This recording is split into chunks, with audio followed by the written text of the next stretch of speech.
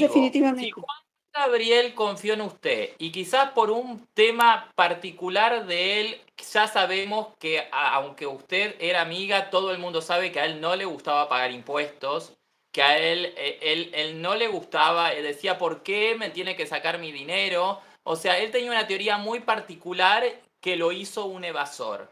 Tuvo problemas con la justicia.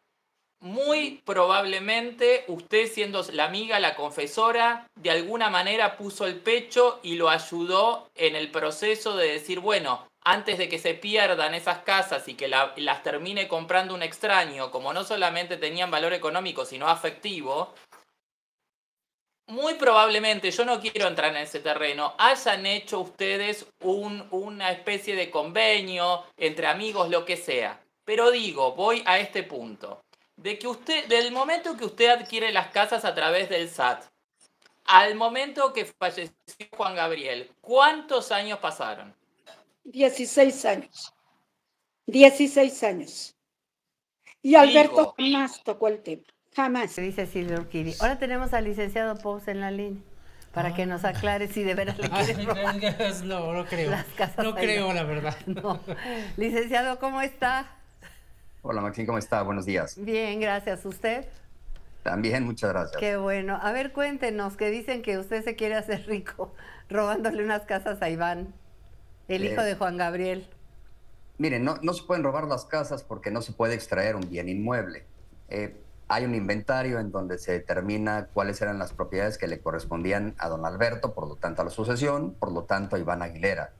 En ese inventario se encontraban más de una decena que ahora siguen en posesión de la señora Urquides.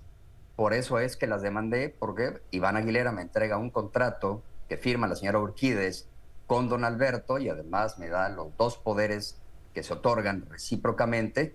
¿Para qué? para que la señora Orquídez, con más de, poco más de dos millones de dólares que le entregó don Alberto, comprara en remate las propiedades que le embarga el SAT para que una vez que las obtuviera, entonces con los poderes que se otorgan, don Alberto pudiera escriturarlas libremente a nombre de quien él quisiera, o bien la señora Orquídez las escriturara a nombre de quien don Alberto le ordenara. Digo, Alberto no lo dio a conocer públicamente el tema. No.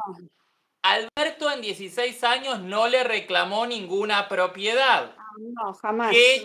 ¿Qué, digo? ¿Qué chingados se tienen que estar metiendo los otros? ¿Qué, ¿Qué vela tienen en este entierro? O sea, ¿qué tienen que ver? No tienen nada que ver. Si Juan Gabriel, que fue el generador de, de su fortuna, de su dinero, en vida no le reclamó a usted durante 16 años la compra de esas propiedades, yo no sé qué se tiene que meter la gente, si fue con su dinero, si fue con dinero de Juan Gabriel. Yo e, esa parte sinceramente no la entiendo, porque además todos los cañones se los apuntaron a usted, cuando en realidad lo peor de Juan Gabriel fue su propia familia, históricamente. Históricamente. Desde su familia de origen, que no lo quiso, hasta después esos hijos adaptados, adoptados, como él le decía, adaptados, que no se preocuparon nunca demasiado por Juan Gabriel, más que aparentemente tener algún tipo de beneficencia por, por ser los hijos adoptados o adaptados de él. Nadie sabía que existían esos siete canijos. Y ahora una muerte dudosa, que eso en definitiva a mí como periodista y como persona es lo que más me preocupa.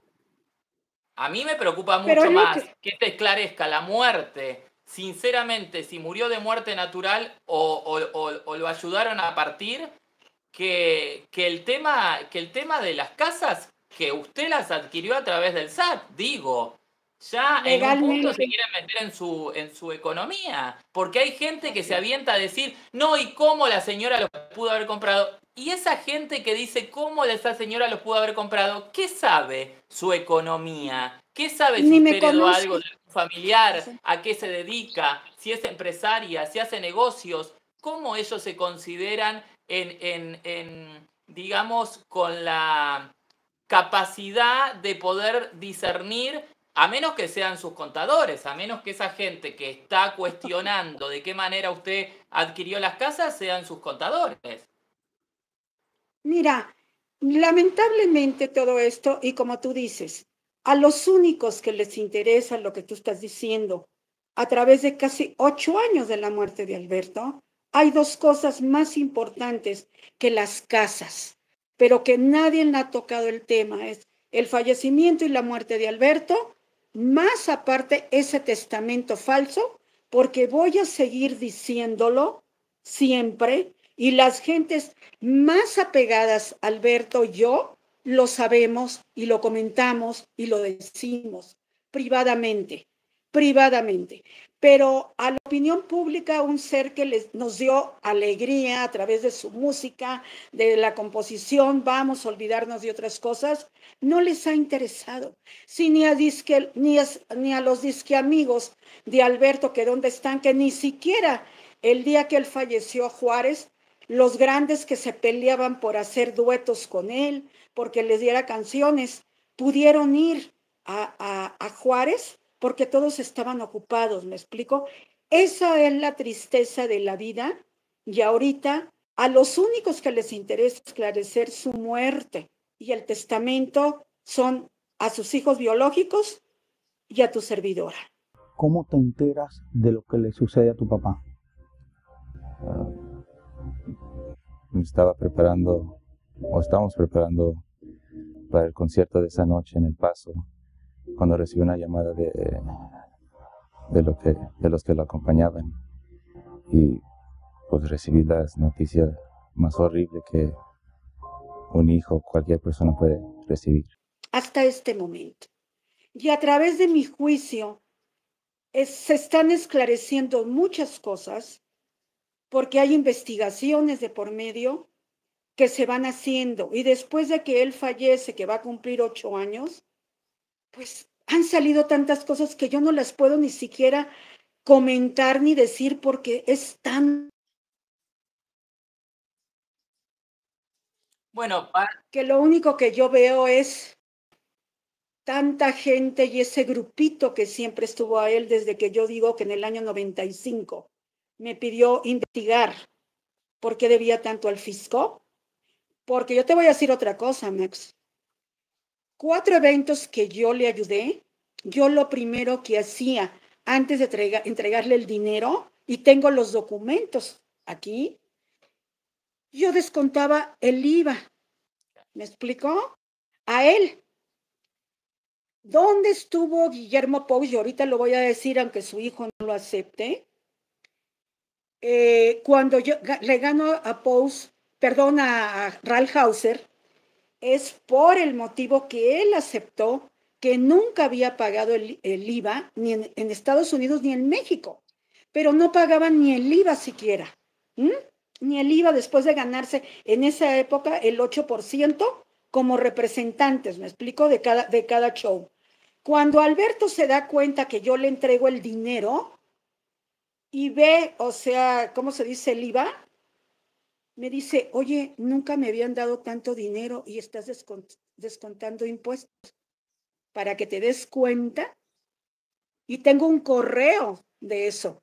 Y tengo los pagos que yo hice en ese momento, las liquidaciones, que igual como la sentencia que te mostré de RAL, la tengo, los tengo todavía, los conservo todavía.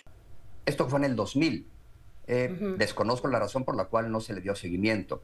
Lo retoman en el 2013, existe el intercambio de correos, hay constancias de pagos que se hicieron incluso de las compañías de don Alberto al abogado de la señora Orquides, al señor Marco Tulio, eh, y en donde se continúa con esta intención de regularizar y claramente lo continúa eh, reconociendo a la señora Orquides viene la muerte de don Alberto y es entonces cuando a mí me proporcionan todos los antecedentes, toda la documentación, lo reviso, efectivamente la señora recibió esta cantidad que mencioné y es que se le demandó porque no las quiso devolver. Todavía cuando yo representaba la sucesión se obtiene una sentencia en primera instancia en donde se reconoce que las propiedades le pertenecían a don Alberto, fueron compradas por la señora Orquídez con el dinero de don Alberto, se reconoce la validez del contrato y de los poderes y se le ordena a la señora restituir la posesión por ser propiedad de la sucesión. Estas propiedades se negó y hasta ahí entregué yo. Es decir, Esto fue hace dos años cuando yo dejé de representar a estos dos clientes. O sea, ya usted no representa a Iván. Ni a Iván ni a la sucesión desde agosto del 2022. Entonces, aquí, a ocho años de su fallecimiento, Max, veo que pseudo periodistas, porque esa es la verdad y lo voy a seguir diciendo, que a través de un micrófono, eh, que es algo también que cuenta mucho, Max, porque llega a millones de personas, millones de personas que no saben lo que está pasando, pero sí escuchan de esa, que de esa persona que tiene el micrófono lo que está hablando y lo que está diciendo. Y por eso yo lo digo ahorita. Lo que es Maxine y esta señora Alvarado, que de Sale el Sol, ellos, ellos dicen que yo declaré que yo les había dicho, pues este, ¿cuántos años estamos hablando? Yo creo de esto. Si hace 24 años que compré las, las propiedades, ellas no entienden el compromiso que hicimos Alberto y yo y conforme van pasando los años, van cambiando las situaciones en que nos vimos involucrados en el momento que hicimos ese, ese acuerdo de entre los dos. Por eso yo le digo, ante el juez, yo tengo la obligación de demostrar mi inocencia. Pero lo demás, pero lo demás lo juzga la autoridad que Silvia ya saben quién es, esta señora que era, trabajaba con Juan Gabriel o era amiga de Juan Gabriel, y cuando él tuvo la bronca con Hacienda, le iban a quitar algunas casas. ¿Te acuerdas de ah, eso? Ah, sí, claro. y entonces, este, no, según Juan, 10, Juan Gabriel se nació, ¿no? entonces, este, Silvia Urquidi, ella hizo la finta de que se las había comprado. Un día yo le pregunté a Silvia, ¿con tu dinero o con el de Juan Gabriel? Y me dijo, con el de Alberto. No los que tienen el micrófono más. Ahora, eh, Silvia, en la investigación que yo vengo haciendo hasta ahora, lo que, lo que me está arrojando es que hubo gente malintencionada del entorno de Juan Gabriel que para tapar lo que se iban a quedar, lo que se habían robado, lo que muy probablemente habían hecho firmar siendo apócrifo, tiraron esta cuestión de, ah, no, no, es como desviar la pista, ¿no? Como para que no se les venga toda eh, la historia hacia ellos, ¿Qué hicieron? La escupieron para el lado de Silvia Urquídea. Entonces, fíjense que esa señora se quedó con casas de Juan Gabriel. Miren para aquel lado. Mientras todos estaban distraídos mirando para aquel lado, ellos del otro lado firmaban documentos eh, con firmas falsas, apócrifos. Hay un testamento dudoso, hay una muerte dudosa, hay un abogado que es después de Juan Gabriel muerto dice que era abogado de Juan Gabriel y nunca escuchamos que Juan Gabriel lo mencionara. Juan Gabriel detestaba a los abogados. no solamente es. abogado, sino que también supuestamente quedó como albacea. Digo, que no terminemos descubriendo que detrás de toda esta historia no termine existiendo una asociación ilícita. ¿Eh? Pues Porque usted sabe que cuando más de dos personas se juntan y se complotan para hacer algo que está fuera de la ley y que tiene que ver además con dinero, se puede entrar en la figura de asociación ilícita. ¿Eh? Y acá hay tres personajes que están bastante de alguna manera bajo la lupa hoy. El famoso Jesús, que eh, fue una persona que siempre estuvo como muy cerca de Juan Gabriel, siendo una especie de sombra. Eh, Iván, uno de sus hijos, y lo que nos vinimos a enterar después de que falleció Juan Gabriel, el, el abogado, el licenciado Pou, que era abogado Juan Gabriel, pero nadie lo sabía. Así es. Y menos Albacea. Y menos Albacea. Él ya tenía tiempo regularizando absolutamente sus propiedades, eh, toda la administración de lo que a él le pertenecía y le correspondía. Don Alberto, desde antes, ya había dejado las cosas como él quería que estuvieran y nada más fue actualizándolas al momento y a la situación de su vida. Después del concierto de Las Vegas, siempre señalaba exactamente a la misma persona, como decir, de él va a ser y con él arregla. Es decir, siempre mencionaba el nombre de Iván. ¿Tú crees que eh, Alberto, con esa fobia que le tenían los abogados, iba a nombrar de albacea al licenciado Pous? Yo, yo, yo lo pido, ¿cómo lo puede comprobar? Es muy fácil. Nadie de los cercanos a Alberto sabíamos de él, me explico, y más como abogado. Yo conocía muchos abogados ¿eh? que tuvo Alberto, muchos, pero a este personaje jamás. Y en, la, en, la, en los momentos más difíciles que estábamos viviendo en una, cuando también este, tengo que hacer una tercería, no apareció tampoco el licenciado Pous, era cuando debería de haber salido. Pero mira, Max, eh, aquí estos personajes, yo no sé ahorita si ves también yo sin querer destapo la caja de Pandora.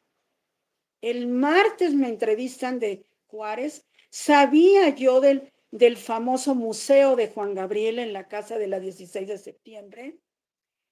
Y sin embargo, yo dije, bueno, sabiendo cuál es la situación de esa casa, a quién pertenece esa casa, yo dije, qué bueno que estén haciendo algo por Alberto. ¿Ok? Eh, y el martes tuve sentimientos encontrados. ¿Por qué?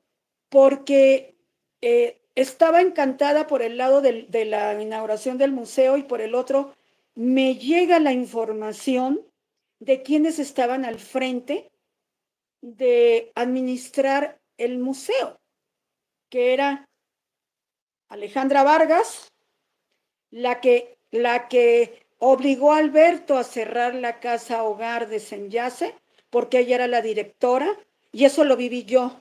Y cometió, y la señora cometió un fraude en contra de los niños de la casa hogar de ahí de Ciudad Juárez. Y Alberto la, la corre y toma la determinación de cerrar la casa, porque no encontraba si una mujer que había sido su fan y que había trabajado tantos años con él le había robado, pues era muy difícil encontrar a alguien, me explicó, para que lo suplante dijo, cierro la casa. ¿A quién afectó? A los niños de Ciudad Juárez. Y ahorita aparece, aparecen como administradores con una asociación civil, AC, Fundación Juan Gabriel, que reciben la cantidad de 75 millones de pesos para un museo cuando lo único que han hecho, ni lo que costó la casa que Alberto compró de la 16 de septiembre, y nada más arreglaron lo que es el jardín, porque la casa no se va a abrir. Entonces, imagínate cómo, cómo me sentí yo de decir que continúa ese grupito, ¿me explico? El mismo grupito. Todavía llevarse 75, 75 millones cuando en Juárez existen tantas necesidades, por ser frontera, tanta gente que se enferma, que muere y de todo eso, ¿sabes lo que se podría hacer con 75 millones? Simplemente medicinas para los niños con cáncer, para las diálisis, me explico, con 75 millones, utilizando el nombre de Juan Gabriel. Me sentí...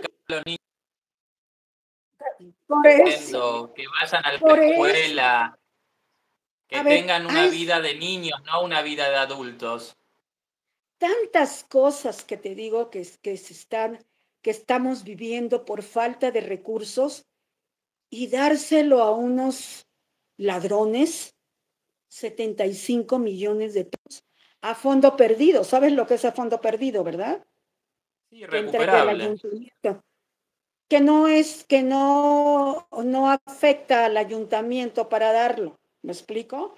Sabemos también que a través de muchas veces de fundaciones hay evasión fiscal, hay lavado de dinero, hay muchas cosas que se pueden hacer. Pero yo me pregunto, ¿cuáles son los objetivos de esa fundación? Porque la remodelación del jardín lo hizo el ayuntamiento, no la fundación. ¿Mm? Eso no la van a habilitar toda, Silvia? ¿No la van a habilitar toda? No, no, no, no. Pero además no la van a abrir. No van a abrir la casa. No, sé, qué museo ¿Un museo para que entre quién si va a estar cerrado? No lo sé, pues ahí te mandé el programa, porque a mí me mandaron el programa, yo lo vi el miércoles, Y yo dije, no lo van a abrir. Y te digo desde ahorita, las disque cenizas que depositaron ahí cuando Alberto eh, fallece, no son de Alberto, porque nadie hasta este momento sabemos dónde están las cenizas originales de Juan Gabriel. Tenía ah, un testamento muy de lo que quería que hicieran con sus restos. Fue su voluntad haber sido cremado y no exhibido en la muerte. Él quiso que lo recordaran lleno de vida. ¿Mm? No sabemos, pero esas no son, ¿eh? Y siguen aquí a ocho años los que dicen que está vivo y pues no aparece, me explicó, y no aparece. Y tú crees que con todos estos problemas y demás no estuviera, ¿tú crees que, que Alberto Aguilera, Valadez Juan Gabriel, como le gustaba vivir, no estaría cobrando sus regalías? Y estar viviendo de con tres mil pesos a la semana o mensuales o lo que tú quieras, son cosas ilógicas que no tienen ninguna justificación y menos sentido, Max. No Ahora, Silvia, ¿usted tiene manera de comprobar a través de otras personas, a través de fotos, a través de videos, a través de eh, mail que me ha hecho llegar a mí y demás, la amistad y el vínculo que tenía con Juan Gabriel? Digo, sería muy interesante que la justicia le pida al licenciado Pous que compruebe cómo fue abogado de Juan Gabriel. Porque digo, si fue su abogado, tiene que haber eh, WhatsApp que Juan Gabriel le mandó a él en algún momento, mail, que Juan Gabriel le mandó a él en algún momento, conversaciones, digo, eh, hay manera de hacer un rastreo. Nombramiento, nombramiento de albacea, nombramiento, nada más. A ver, eh, la ampliación es para eso para que comparezcan todos estos personajes, ¿me explico? Por eso lo ampliamos y exigimos a la justicia que sean este, presentados ante, ante el, el Ministerio Público para que rindan su declaración y comprueben además, como es, ha sido mi obligación en este tiempo, hacerlo, porque he tenido que comprobarlo, ¿me explico? Ellos tienen que hacer lo mismo tienen que hacer lo, mismo. Esperamos esperando el veredicto de los jueces, ya está a punto de salir. Esperamos que Dios haga justicia con esa situación y se puedan recuperar todas las propiedades. ¿Cuántas propiedades son, Jesús? 14, 14. Honestamente no he visto sus declaraciones, pero um, no sé, de nuevo, yo nada más tengo agradecimiento para el licenciado. Pues yo, yo tengo nada que agradecimiento para el licenciado Pous, hizo un muy buen trabajo para mi papá. Eh, y, honestamente yo creo que nada más fue cosa de que su labor como albacea ya terminó su ciclo y nos estamos moviendo al futuro, este, pero no, no, o sea, de preocupaciones, no, no, o sea, yo creo que vamos a movernos mejor a cosas más bonitas, ¿verdad? Espero que esto que estamos hablando ayude sobre todo a que las personas se formen una opinión en base a los hechos a, hechos, no a palabras. Eso es, es, eso es parte de, y los motivos que, insisto, ya dejen las propiedades, ya, ya eso ya es, como yo para mí me explico, este, algo fuera, hay cosas más importantes que tú las acabas de comentar, la muerte, el testamento, sus hijos biológicos abandonados, a casi ocho años que no, ellos ni siquiera se han atrevido a hacer una fundación para lucrar con, con el nombre de su padre. ¿Mm? Y este grupito lo sigue haciendo, lo sigue haciendo. Entonces, no tienen llenadera, como yo digo, ¿no? No tienen llenadera.